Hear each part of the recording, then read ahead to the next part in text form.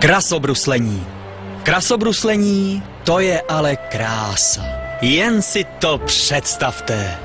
Ledovou plochu máte jen pro sebe, kroužíte ve světlech reflektorů, předvádíte skoky, při kterých se divákům tají dech, třpitivé kostýmy, hudba a televizní kamery. Závodí ženy a muži zvlášť jako jednotlivci, anebo soutěží spolu jako dvojice.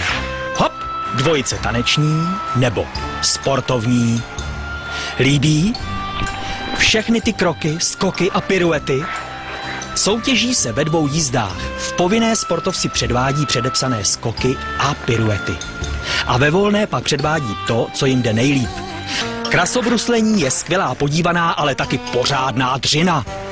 Nic pro toho, kdo si rád přispí a bojí se modřin. Jsou to taky nervy na závodech. Tak nadechnout, úsměv a na let.